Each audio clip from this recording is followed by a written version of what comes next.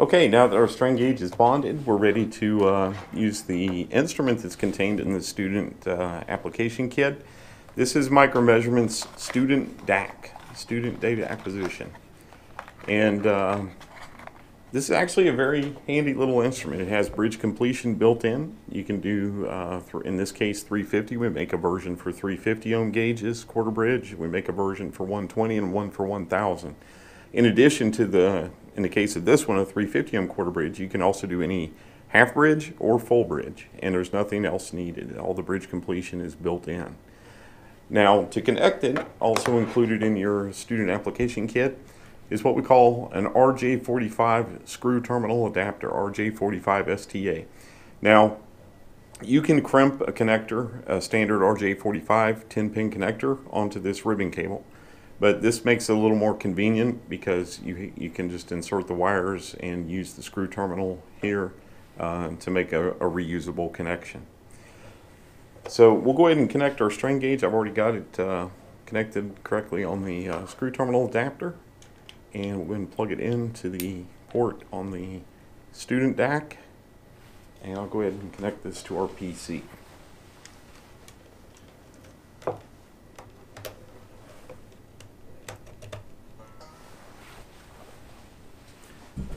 Okay, now everything I've showed you there is included with the kit. This is a little um, cantilever fixture. This is not included with the kit. It's something we use for demonstrations here. Uh, but I've got our beam attached. Uh, now we'll go ahead and bring the software up. This software is downloadable from the Micro-Measurements website. So when you purchase the student DAQ or the student application kit, uh, the software is included with the kit. It's on a jump drive, but you can also go and download newer versions on our website. I'll go ahead and make this full screen.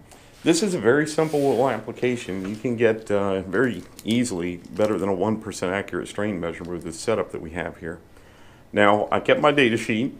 What I need to know at this point is the gauge factor.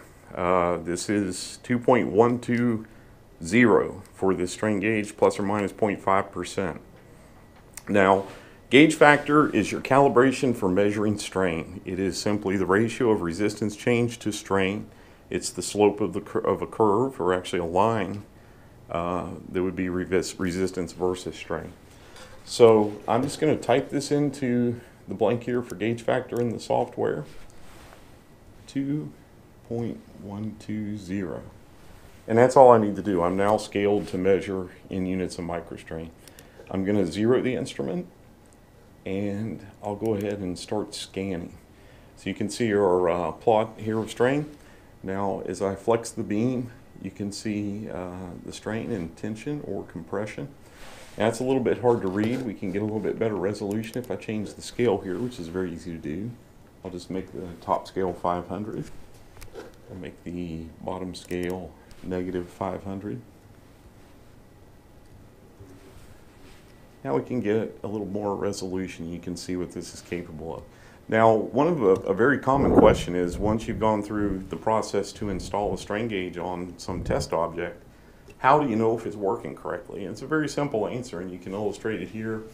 It's called zero return, and uh, this is 2024 T4 heat treat aluminum, so it's very spring-like material.